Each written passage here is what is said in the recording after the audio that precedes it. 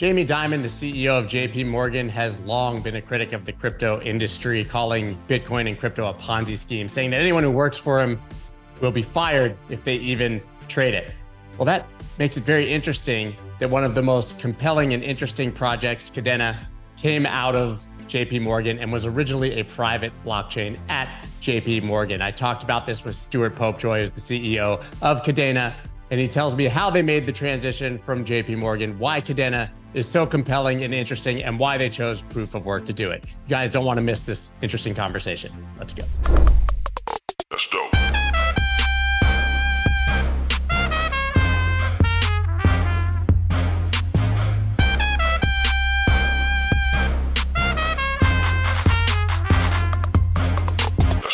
I think what I found most interesting in the research was obviously your history at JP Morgan since JP Morgan's CEO Jamie Dimon, of course, is uh, notoriously uh, bearish on on crypto. So how does that happen? How did you make the transition from JP Morgan?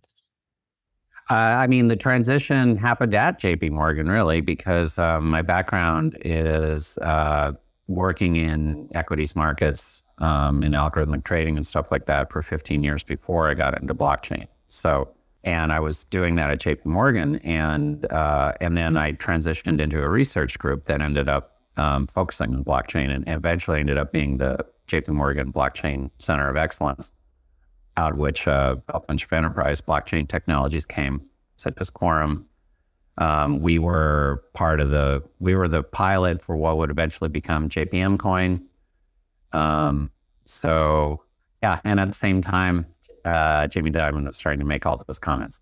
So you know, you had it's tip. It's not that.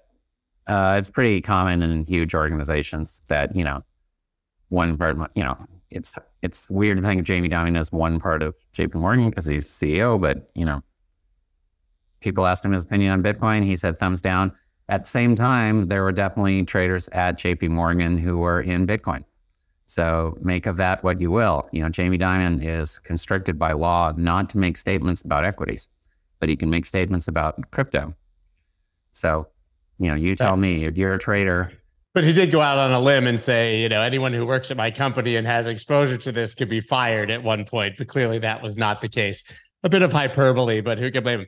Also, to be fair, I, I don't like to defend, of course, but you can make a differentiation between the assets, which he's spoken about, and the underlying technology, which you were focused on at the company. Well, and that was always what people were saying at the time. Um, you know, that of course, I think fell apart. I mean, private blockchain in general was what a lot of banks, including JP Morgan and, and Kadena's original, you know, impetus was to take this technology we had developed and, and apply it for private blockchain.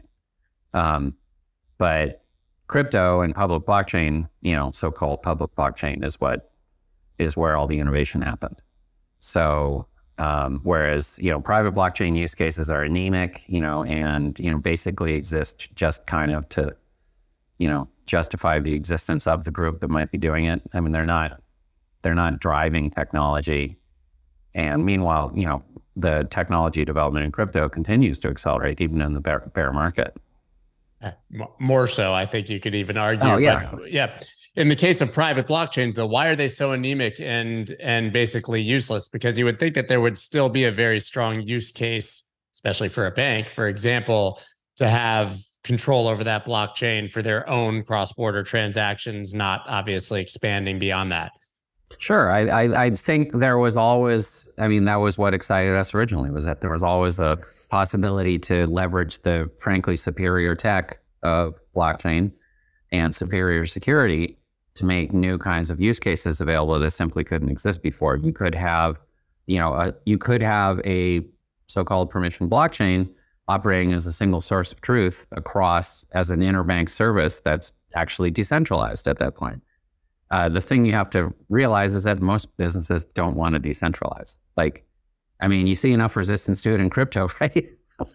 I mean, how much in crypto claims to be decentralized, and then because it's just easier or more convenient or for any number of reasons, actually isn't decentralized.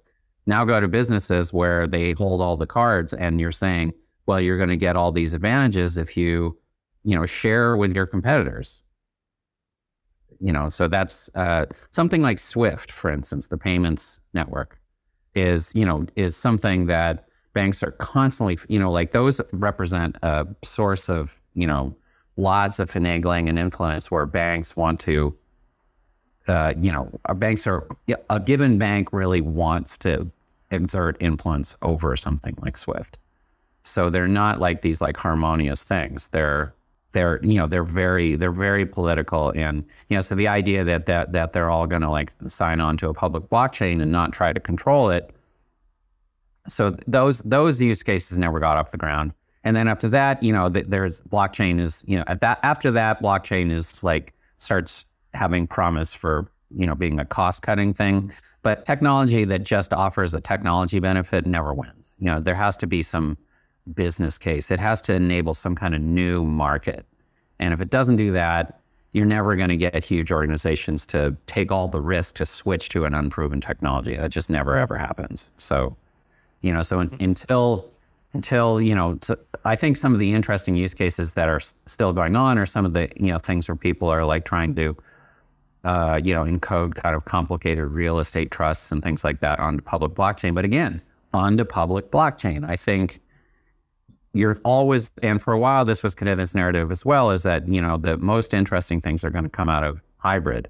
We're now more, we're now a pure play, you know, in public blockchain because that's, you know, because we, that's where our technology has found the most application.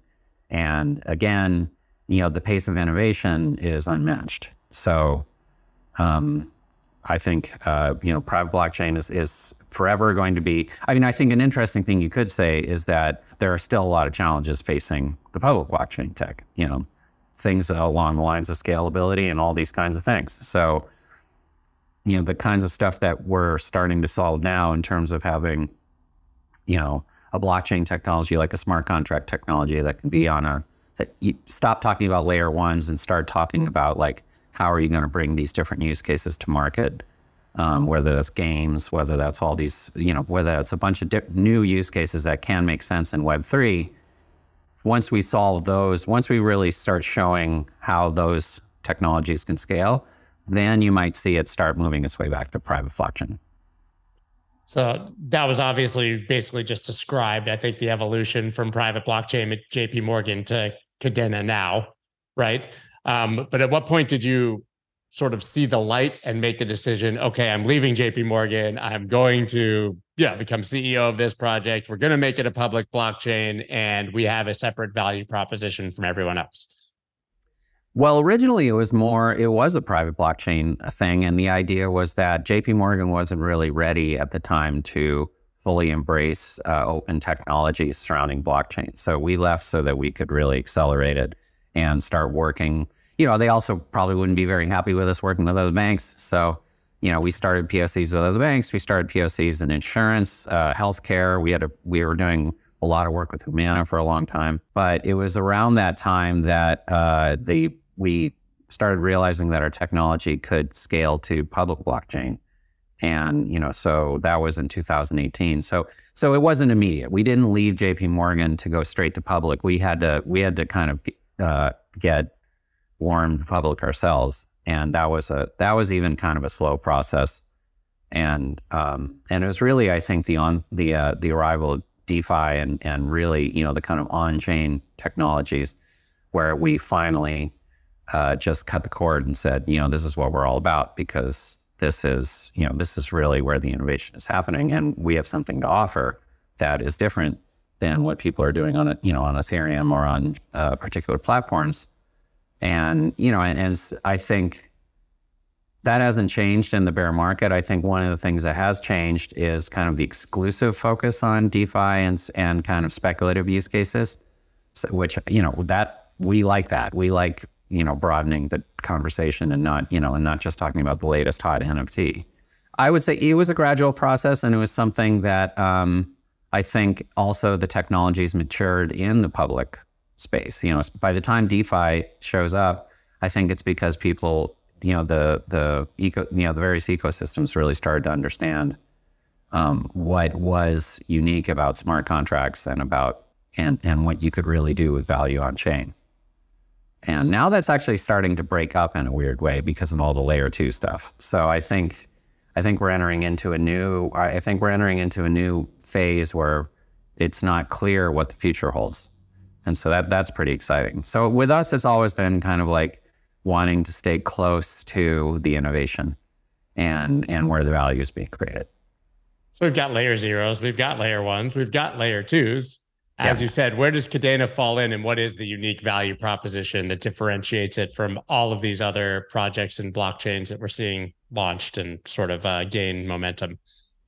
I think it's actually, we have a kind of laser focus on decentralization, frankly. Um, it, it's, it, it really goes through all of our technologies in the sense that um, we launched Chainweb as a scalable proof of work, still the only it's actually the only just straight up scalable layer one um, because all layer one technologies when they start talking about scaling and let's remember what scaling means it doesn't just mean going faster it means going faster without limit right in the sense that all of you know like people thought when ethereum would complete the merge oh okay everything's going to be great no it did it's like when they it's like when they put an extra lane on the freeway right traffic shows up pretty much the next day, you know, and, yeah. and before you know it, you're still in a traffic jam. You got to do something different. You got to have a, you got to have true scalability. And that's what the Kadena blockchain offers because it can expand to meet needs without limit.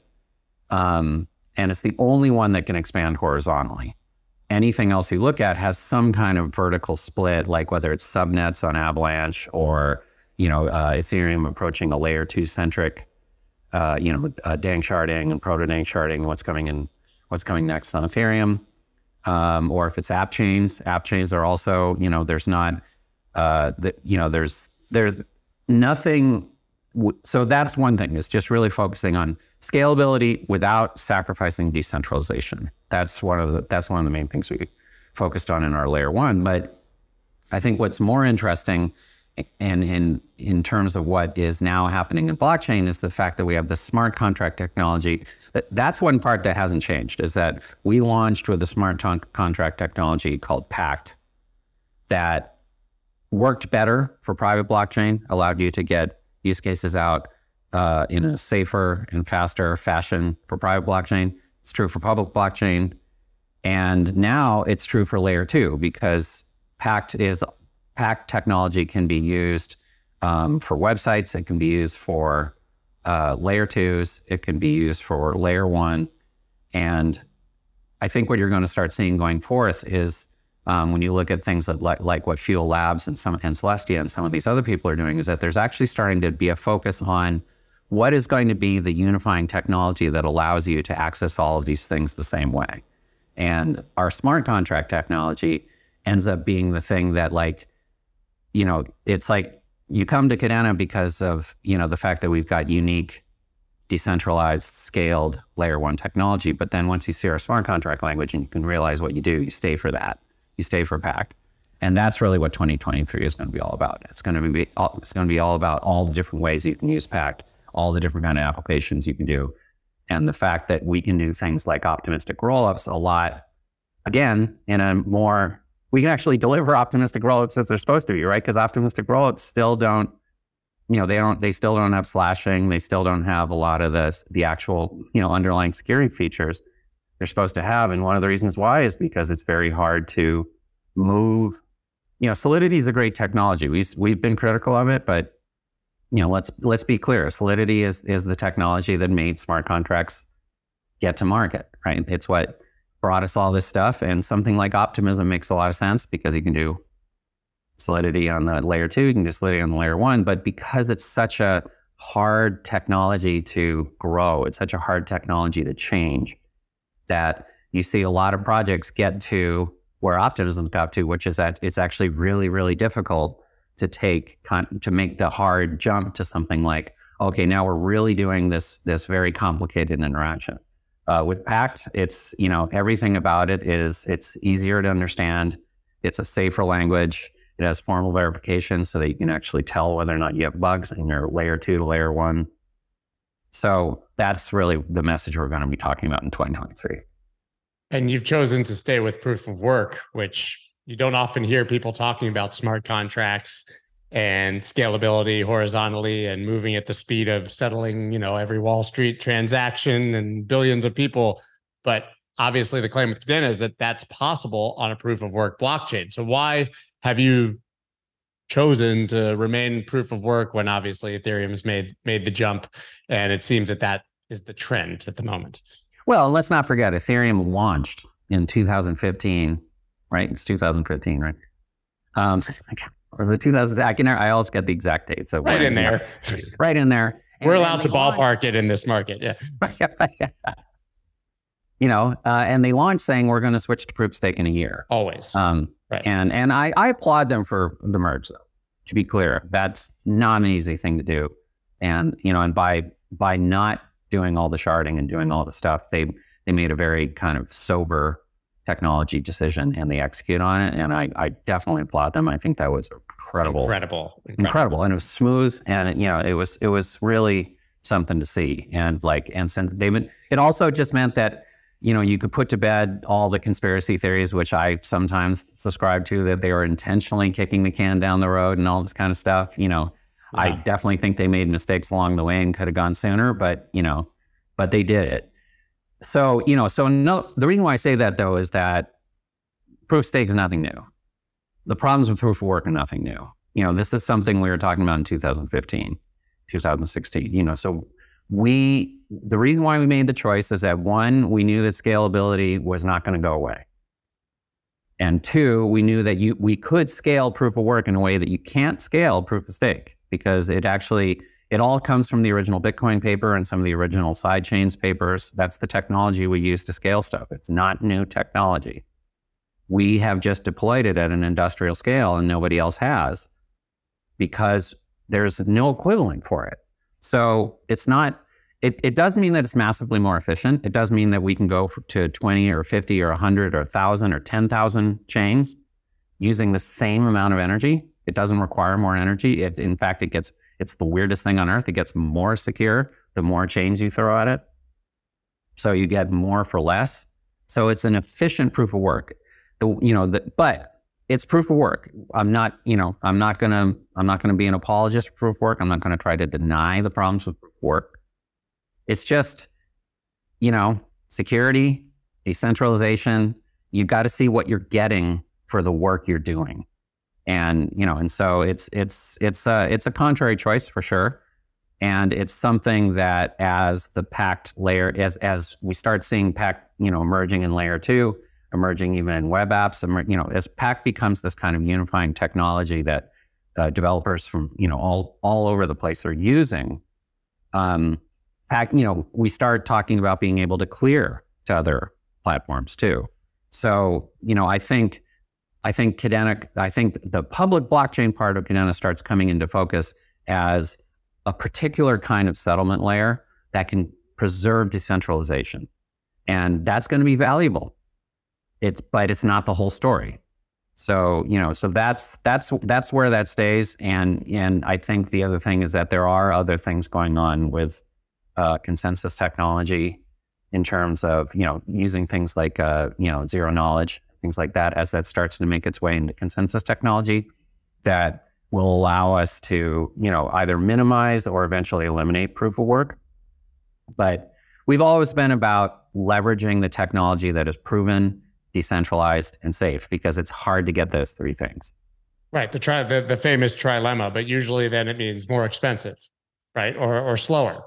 Right, and, and, that's the trilemma, right? Is that you, you know, and and Kadena is famously the only layer one that solved the trilemma because it's the only one that you know that leveraged this low level technology, and then you know, and so somebody might counter, yeah, but your proof of work, and I, you know, I'm not I'm not denying that, but again, we look at the world of crypto as something that is, you know, we're we're also one of the one of these people who say like, oh, well, crypto's still young, even though it's not that young now. Um, I think it's it, still young. I, I, mean, a lot of crypto people do, but you know, some people say it as kind of a defense, and you know, some things are not so young. You know, like you know, when the internet had been around for like this long, some pretty great, you know, some pretty amazing yeah. things were happening. Um, so it's right, not think, that yes, young. When people say it's young as a defense mechanism or as an excuse for why we're not at you know mainstream adoption or at scale Right. to a billion people that's i understand what you're saying but Right. i mean in the grand scheme of things something that's uh 14 or 15 years old that is a technology that could you know effectively change everything it's very early and also just doesn't if, if you look at something like a thoroughly decentralized system there's nothing else like it you know there's no a system that can operate in the wild you know and that's one of the reasons you know one of the things we're pushing for in websites in in, in terms of using pact for websites is the fact that pact has passwordless you know login and all that stuff licked and what's more you know we're going to be rolling out stuff that allows you to do multi-sig across you know your different devices and just a kind of standard session for web. That's something that like normal web developers don't have good access to right now. You know, so crypto is ahead. It's just that there's been so much focus on, you know, it, it's that thing where it's like this: your success ends up being your worst enemy. Crypto is tremendously successful. You know, a lot of money was being made between 2018 and 2022, and so that's where a lot of the focus was. But you know, people forget we're still doing something harder than other tech. We're putting a we're putting a technology in the open where anybody can come at it and making it something that is safe and secure and decentralized. And that's, you know, so I think that is genuinely new. I think it is young. I think we still have like really important debates to be had on the role of decentralization in crypto. And I, you know, and I'm still a maxi on decentralization. I agree. And I think that, listen, there are arguments to be made that for certain things, centralization is better because it's faster and doesn't require decentralization. Right. In this case, I think it's clear that decentralization is the most important factor. But I've always argued that it's a sliding scale, right? I think a lot Yeah. of people would say it's centralized or it's decentralized, and they want to be able to put it in one of those two buckets, but it just isn't, right? Even to the point where if you're fully decentralized, but everything's running on Amazon web servers, then where Amazon web servers is, then you potentially are relying on a centralized platform for for your decentralization. So where do you think it falls on the scale and how do we slowly sort of move towards that true decentralization? Well, one, I think it's that it's it's being aware of what we're doing right in the moment too, right? In the sense of like what's going on right now with modular blockchain. You know, so what what do the technology look like? You know, so one of the things is uh, zero knowledge, right? Zero knowledge. We we've got a we you know Kadena's working on zero knowledge, uh, you know, uh, stuff for in our wallets and stuff like that, and it's a great technology. But the problem is, is that all the the dominant um, you know, the all this dominant technology using snarks, what's called snarks, is ultimately centralized. Yeah. It's you know, and that's the dirt, that's the dirty secret of zk. Uh, something like optimism uh, today, in effect, is centralized. So when you see what Ethereum's moving, and yeah, and even stuff like what Celestia is doing, and uh, you know, and that's a great team. You know, we're we're paying a lot of attention to them because they're very, that you know, they're very they're thinking very hard about these things and they're working really hard. Um, but a lot of what they're doing is saying, oh, well, you know, for a lot of things, do you really need stuff to clear out to an L1? And I find it sad. You know, it's one of those things that that's what that's what makes me get up in the morning is is that's one of the things that makes me want to, you know, give people more ways to clear to the Kadena blockchain because the Kadena blockchain is is still a classic decentralized blockchain and it can handle the load. And you know, so it so part of this is about a, a preserving the ability to have these have 100% decentralization still be in the discussion when you're talking about L2s and when you're talking about all these other things because I am a little worried about what's going on with proto-danksharding and some of this stuff. I mean, in a way they're moving towards a, you know, kind of just using the, the blockchain as just a timestamper. Yeah. And I get it. I, you know, again, I think Ethereum, Ethereum is being very practical. You know, they're trying to, everybody's, you know, I think what's cool is everybody's focused on the next level of adoption. You know, like blockchain is great, DeFi is great, but how are you going to get like a Facebook on crypto? How are you going to get like a, a world, you know, uh, World of Warcraft on, you know, uh, Fortnite? How are you going to get something like that on, you know, uh, working on crypto? You need these layer twos. I, you know, that's for sure. And and you know those things can accept. It's like you're saying. There's a sliding scale. The, a a game can probably accept quite a bit of centralization. Of course. Um, but you know, the reason why we're so you know kind of maxy about decentralization is that you know, I, I suspect it's one of those things that, like, when things are centralized, I feel like there's other details lurking around the corner that, you know, are going to bite you. And the great thing about decentralization is that it's what it says on the tin. Decentralization brings a whole bunch of other things with it. It means this stuff is open, right? It means that it's like it's all open source software. It means that you can see everybody who's participating in it, at least in one way or another. I mean, obviously, you can use your knowledge. There are ways to make things private on chain but you know, at its at its you know the if you I look back to Bitcoin often. You know, I look back to the sets, the original Satoshi white paper often because that's how we got here, right? That's that's what kicked it off. And there's things about that system, you know, like even when people start saying that, like, oh, well, the solution is we have to move to everything being encrypted. I'm like, wait, you know, hold on. I, I get, I think that's another sliding scale, right?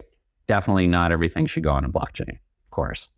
But I don't want to throw the baby out with the bathwater. I think there's some there's some really great things about having open systems where you can see everything that went down. You've obviously made the claim that all of Wall Street could settle at the end of every day on Kadena That you guys can you guys can maintain operations at full scale of anything you could possibly need. That's been a huge problem for others who have made the claim in the past. Right. I well, mean, we've obviously I, seen blockchains go down because a cool NFT project is launched, right? oh, sure, sure, sure. And and you know, and that's again something that, you know, why we're very conservative about these technologies. You know, like Bitcoin hasn't gone down in forever. Um, Ethereum hasn't gone down in forever. You know, and and this merge was again like like bravo on doing that because like they took a very secure system based on as crypto in crypto speak a very old technology which is their version of proof of work. And they moved it to proof stake which you know proof stake's been around for a while now too. Um, so I, I, don't but you know the point being is that that those are very uh, secure technologies and and the idea is that you know Kadena is not going you know we when I say that by the way also I say it can settle it's a big difference. I'm not saying I can host every trade on the U.S. stock market. No way. But that's what we're. T- you want to talk about that next level? We're talking about modular blockchain. There that's you what you're talking. About. Yeah. But like settlement is a whole different story. Settlement is market participants. You know, so market and and it's uh, and it's the end of day, right? At best, actually, a lot of stocks take three days to sell, but it's like end of day. So I actually know that our current blockchain could do that. Um, but it's you know it's like it's one of those things. Again, you'd have to like it's so we can make that claim today, and our blockchain can handle it. It's just I don't think it's going to happen because you know stock market settles the way it does. I, I don't think Wall Street's going to be switching their uh, systems. Yeah, they're not. They're, they're, yeah, they're not going to be switching over anytime soon. But settlement, and I actually think the settlement, and you know, and this is again a conversation that's getting more interesting now with a lot of the layer two and you know uh, you know a lot of this modular discussion is you know how are you really going to like what kind of settlement do you need? And and layer one i think is still the best settlement you know and and to my mind proof of work is the best settlement because it's the most decentralized. It's the one that has the most capability. And you know proof of work isn't perfect either right uh, and i'm not talking about the green stuff anymore i'm talking about older debates about like you know um, you know, miners and all, all that stuff. It's just more decentralized than proof of stake. You know, just inherently, there's there's just a way that it's more decentralized, and it it and I think the other thing is that like, you know, there's starting to be more you know regulatory attention, as we all know, right? And one of the things that you have to hand to uh, Bitcoin is that Bitcoin managed to jump that hurdle. It managed to, you know, end up in an arena where its regulatory status really isn't in, in doubt right now. I mean, no, you know, you know, we all there's a lot of other stuff that's in doubt, and you know, and and you know, the Ripple case, and you know, there's all sorts of stuff coming up that like everyone's going to be paying a lot of attention to. But it's but Bitcoin's just going to sit there throughout the whole thing, and that's because it's decentralized. Absolutely. And some would argue we talk about mainstream adoption and being able to settle, you know, billions of transactions and having billions of people using it. I think you could argue that we haven't had the killer app to get us there yet, right? You talked about DeFi right. sort of being a, I guess, a test study for what you guys were doing, but have all also mentioned NFTs right. and gaming, which leads into metaverse. Do you think that we have a killer app in the pipe. You you talked about bringing Fortnite onto a blockchain. All these things right. that have gone massively viral and would really probably spark the next major uh, wave of interest in the in the technology and in the space. Do you think there's anything coming down the pipeline, or do you think we're going to just continue right now to sort of test test the waters, dip our toes in in each of these arenas? Well, what I'm excited about is that Web3 continues to capture people's imagination. Um, you know, and, and we see this. We see this when we're presenting at like JavaScript conferences, you know, that like, because, you know, we're leaning more into that side of things uh, these days. We're leaning more into, you know, some of the aspects of our tech that are generally applicable.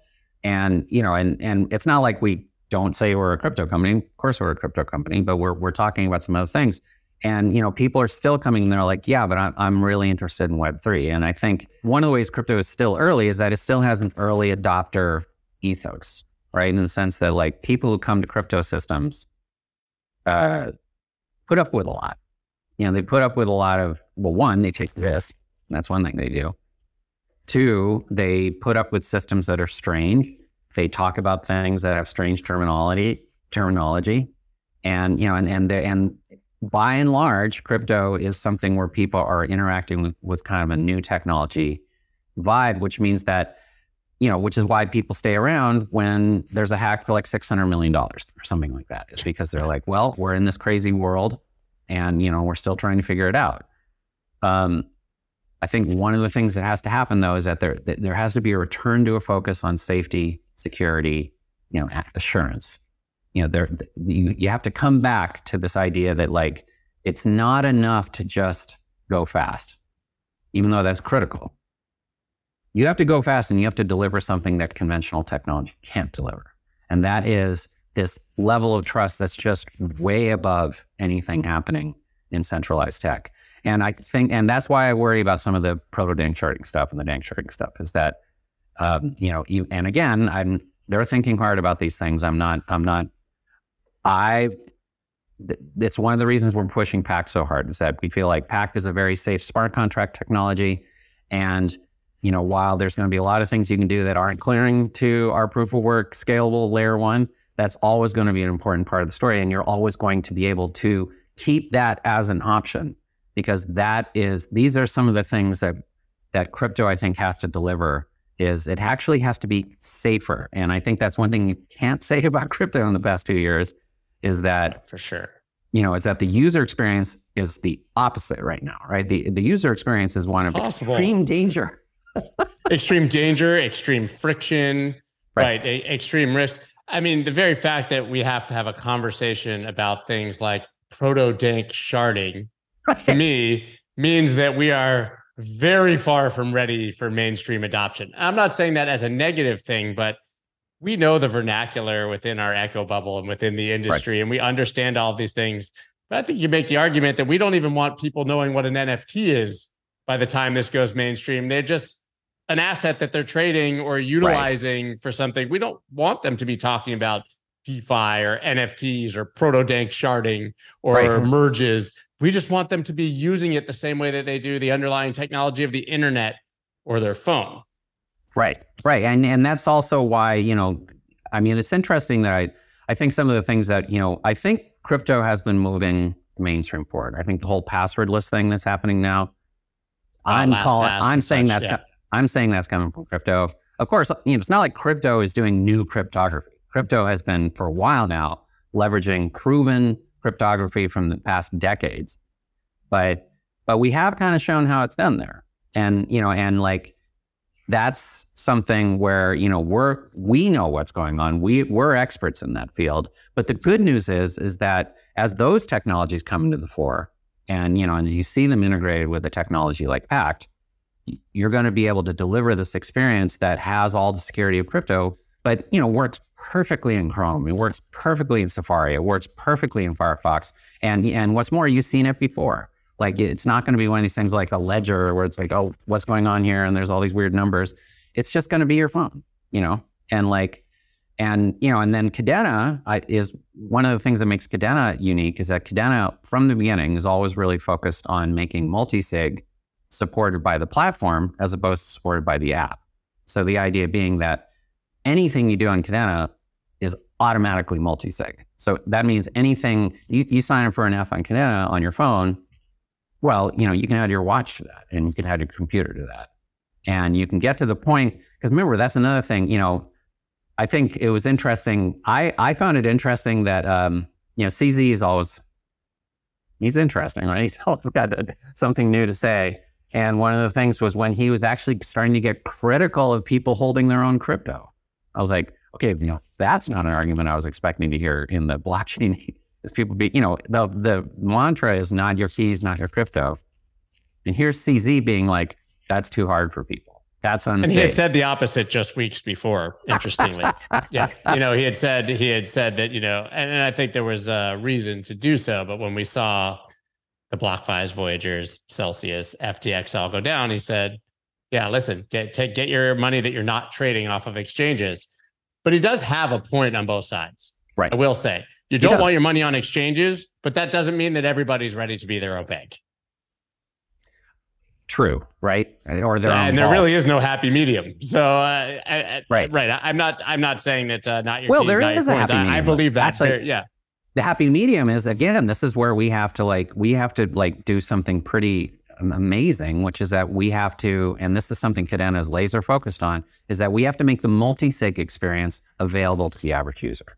And available some, and easy. And, and grandma easy, right? can use it. Right. Right. Exactly. And, you know, I mean, she's going to have to have some devices, but, you know, everyone seems to have devices these days. So I don't think that's too much. Grandma can use a phone now. I'm pretty yes. convinced. Yes, I'm pretty Grandma convinced. definitely has Facebook. Right. Yeah. um, so, yeah. So it's that kind of thing, like, you know, that it, that we need to, this is something where, again, look, conventional technology when it comes to multi-factor is still iffy. It's still like most of them is SMS, right? Those of us Which in crypto, is a nightmare. S- right. You could argue that having SMS authentication is worse than having none at all. Right. Exactly. Once they get in there, it's over. Oh, it's horrible. You know, For so everything. it's right. Yeah. So this is something where, again, crypto you know, insofar, you know, multi-sig is as old as Bitcoin, right? I mean, Bitcoin's been able to do multi-sig since the beginning. Um, Cardano was able to do multi-sig right when it launched. Um, and everything you do with Pact is multi-sig enabled. So this is one of those things where it's like crypto has the ability to turn it around, where it's like today, crypto harder, more risky. Tomorrow, crypto easier, safer by default. Like in the sense that if you're always like you know, making it that like you've got, uh, you know, you've got recovery codes and, you know, three devices. I mean, that's a very safe situation. And that's something that like it's hard to get with your bank account today. It's hard, you know, oh, these days it's yeah, it's it's incredibly frustrating trying to get this. I do think, by the way, Europe is more ahead on these things than the rest of the world and the United States in general. Uh, United States is wow, just the banking here just moves at a snail's pace. It's so frustrating. Um, so yes. crypto, I think, is where we're gonna, you know, it's up to us. We're gonna push it forward, and we're gonna push it forward by, and and when we do that, that's when we start to make this promise. Yeah, and we and we make that scalable. That's when this promise starts to become real. Because I still think, I actually still think crypto is a very low level technology. You know, it's it's something that it's like you said, nobody should know these terms. Nobody should know what proof of stake is. Nobody should know what danksharding is. They should just, they, no one should know what fungibility is. I mean, like, that's a weird word. It's just like, you know, you pay yeah. for things and you own things, right? And there's these kinds of things, and it's the things, it's not what technology empowers them. When you get ease of use, scalability, and, you know, and also I think when, you know, it, so I think there are still some like very kind of low level technology maturation going on. And, you know, and that's one of the things that makes it exciting to work at a place like Kadena is, is being able to be part of that conversation.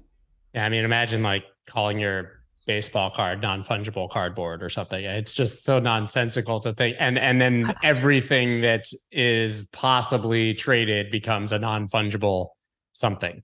I just think we have a huge vernacular problem and need to yeah, start no. speaking in terms that the mainstream can understand.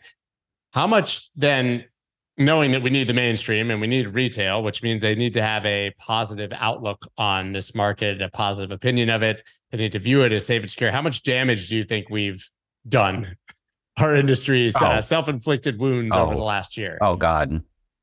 uh, I, I, I'm so glad 2022 is over, and I'm just really, really hoping in 2023, you know, that every, I mean, you know, we've got, you know, okay, now we got like, you know, Gemini and Genesis going down now.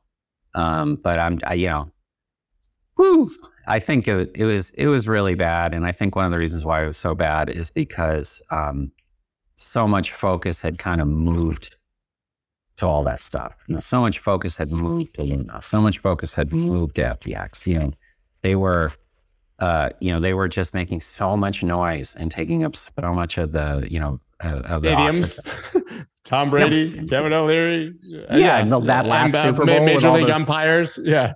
Yeah. Those Super Bowl commercials. Yeah, yeah, I mean, it's just you know, it was it was something that I, I think I think the damage is real. I think also the uh, I worry about. I'm not somebody who hates the SEC. Um, I actually think coming from equities, and coming from working in algorithmic trading, where there was big, you know, by the way, big things went wrong in algorithmic trading, right? I mean, huge things went wrong. And yeah, and and I've worked around these traders. That you know, the, in the end, crypto isn't so different from the rest of fintech. And you know, and these traders they grumble every time, like the SEC or you know, or uh, FINRA or some of these other regulatory bodies step in. And it's like, guys, these are the people who are letting you continue to have a job, you know, like, and I think crypto is starting to see that now. My hope is is that they they focus on the fraud, you know, and right. they focus on there's so much stuff to go after. It's crystal clear. And meanwhile, you know, I want to see the more innovative thinking continue about how we can have better regulatory regimes for these things. You know, because you need a new one. You can't just you can't just apply stocks to crypto. You just can't. How Howey test doesn't apply to a technology created uh, in the 21st century from the 1930s. I think everyone agrees with that. And I think also it's fair to say you can support the idea of regulation and you can even not dislike the SEC, but you can dislike this SEC right? Well, but there's a lot of, but but you know, it's it's a political organization, right? I mean, right. you know, there's a, you know, you, you saw all the all the Congress all Congress people like, you know, every time something like this goes wrong, you know, you, you have people who yesterday were like, why is the SEC slowing innovation? And this day they're like, why didn't they see all this coming? And like, why weren't these people already in jail? So, yeah. you know, they. I think it's going to be the. I, I do think that just like in stocks, where the SEC has actually made it safe to trade, right? I mean, they, they make it, the SEC ultimately protects the market by making it not look like a bunch of wolves, right? You know, it makes it look like someplace that's safe for retail to go. So we need something. And yeah, I don't know if this SEC is the one, but you know, I don't, but the SEC is also something that, yeah, it's an organization that has to survive in the political winds. So, you know, they need to look like they're doing something. And and there's certainly a lot to do. I mean, it's just there's there's so much, but you know, the, and then there's some stuff that's more of a head scratcher. But you know, we'll we'll we'll see how fast they move, and we'll see also if our legislators and people like that can can bring out can start arguing for you know can realize the value because I actually think other governments are actually you know they're very you know you see like statements coming out of Canada or coming out of European governments you see a lot of embrace still, uh, you know, in the UK, you see a lot of embrace of blockchain technologies. You see a lot of forward thinking. People are still excited about the technology. And, you know, in the United States right now, I think there's, you know, because of last year, we're in a we're in a tough spot. So um so we're just going to stay heads down. We're going to keep working on this technology. It's why we like being decentralized. We know that that's something. Another thing with decentralization is it's just a little bit safer. I mean, in the sense that you know something like something like FTX can't happen right in a decentralized context. Other things can happen, but not that. Sure. I, I would like to think that we've uh, delayed the inevitable rather than canceled it. yeah, no, and that's that's our view. Our view is that you know I, I just I'm trying to resist the the kind of also the cliche of like, oh, you know, it's good, you know, you know, bear market is good because now we'll really focus on you know no, I think it wasn't good. I would rather these things hadn't happened. I would rather, or they, or they didn't happen with such force. You know, I, I think, I think those people really hurt crypto. But having said that, absolutely, it has actually refocused the conversation. You know, and and it has kind of, you know, it's returned to some of these things because Because look, one of the reasons why a lot of these things got to, got to where they were, and one of the reasons why decentralization is suffering so much is because, you know, because of these scalability issues or because of these UX issues. Like most people hold their crypto on an exchange, and exchanges, centralized exchanges, deliver this massive amount of value in both directions. They deliver value to the people who want to hold crypto and are, are afraid of this freaking technology. And then they deliver a lot of value to the projects that haven't solved these problems yet. You know, they're actually a very, you know, crypto as we know it is powered by centralized exchanges. It's just the fact. It is. Absolutely. Absolutely so, fact. Yeah. So, I mean, you know, we, it, if you ever, it's almost like if you want to know if crypto has made it yet, well, is the whole story centralized exchanges still? No, it hasn't made it yet. Like, like as soon as we get to the point where it's not just where it's not just like the decentralized exchanges are like everything, and then the decentralized stuff is over here. Once this gets bigger, that's when we know we're starting to actually like move things forward. So agreeing that we uh, have delayed the inevitable and that uh, 2022 was massively damaging to the space. What gets us over the next hump? Is it price? Because it's always price, right? Eh, for in this market, it's always been prices go up, everybody cares. Prices go down, it's going to zero and it's dead. Or is it going to be the Fortnite or the killer app or some game or some use case that we haven't seen? I mean, what do you think could be the catalyst for us to sort of erase 2022?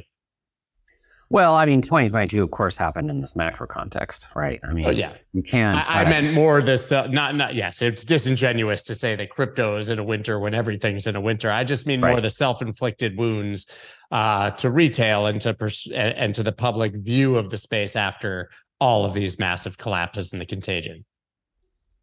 I mean, I actually think it, uh, and that now I am going to be the person who says that, like, I'm glad we're in bear market because I do think it fo- it, it, it changes the focus to, um, you know, to to showing how crypto can really deliver something different. And I think that's where you start looking at Web three and you start looking at the way, just giving people more ways to work. With. The way I see crypto is you're giving people more ways to work with value.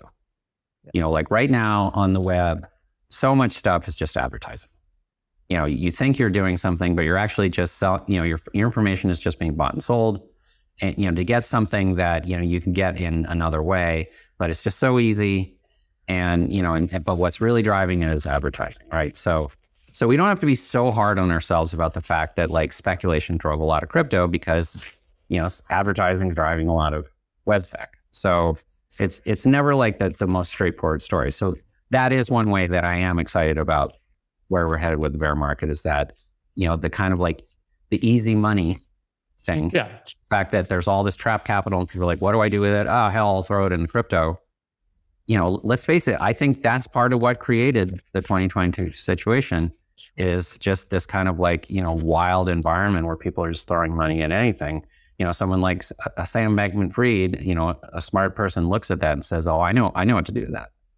So now we get back to these more interesting questions. We get back to the killer apps and we get back to, you know, delivering something differential. I'm personally of opinion that it's, it, I, I don't see it as a killer app. I see it as an app that ends up being a killer app because it actually delivers these things that, that we're talking about that excite us, right? But then I think it opens the floodgates, you know, because there's, this is a, this is a general enabling technology that gives people that gives that puts the power the power of value in the individual's hands and takes it away from the Amazons and takes it away from the Googles and takes it away from you know the big companies and and really gives a way for decentralization to keep going. I mean, something like even something we see with like people moving to Mastodon and how how hard that is. You know, that like how hard it is to move off of Twitter. You know, so it could be something like a messaging. You know, it could be something not messaging, but like something like a, a you know being able to figure out how we can, because I think one of the things about Mastodon is hard is that it's, uh, is all the federation and the fact that, you know, you, you don't really know what you're getting into when you join a particular Mastodon thing. So it's like crypto is interesting because it's got a global outlook. You know, it's like the crypto you use in the United States, same crypto you use in, you know, anywhere else, right? So I think this is something that like taking that incredible power and you know and really giving it to the masses where the masses you know where where you can say something like not your keys, not your crypto, not your, you know, not your NFT, not your, you know, all these other things that could deliver value. And that actually being something that makes people feel safer and gives them more, even if it's like their personal data, even if it's, you know, like something like Brave was trying to do, you know, where it's like, even if it's about, okay, advertising is important for the web. So let's actually, instead of just saying that users have, you know, writing laws like GDPR, no, we're actually going to deliver that technology. We're going to deliver the technology where it's all on your device and you hand it out as you see fit. And the way you know it works is because it's backed by blockchain. Makes perfect sense. Uh, I love hearing uh, someone who's developing something new, but referencing all of the old and original ethos that we love. And I think that's quite unique in this space. Thank you for that. Where can people follow you after this and check out, of course, uh, Kadena and yeah, you know, so uh, Kadena, we're, we're, yeah, we're Kadena.io. You know, I'm uh, Kadena underscore io on Twitter, and uh, I'm Sir Lens-a-lot on there a lot. Uh, we have Discord, and tele- Telegram, all that stuff, and uh, and you know, and the other thing is that if you're, especially if you're like a builder, or a JavaScript technologist, or something like that, we're coming to a conference near you soon. Um, you're going to see a lot more at the end of this year. Awesome! Can't wait. Uh, looking forward to it. We'll have to circle back at the end of 2023 and see if it was in fact a better year. Absolutely. I, I I'm pretty bullish as far as I have high hopes. Goes. It'll take a lot to be worse. I'll tell you that. It's not a very high bar, I guess. yeah, right? It's not. Yeah. Exactly. Well, thank you very much, Stuart. It's been a pleasure. Yeah, God, it's been great. Let's go.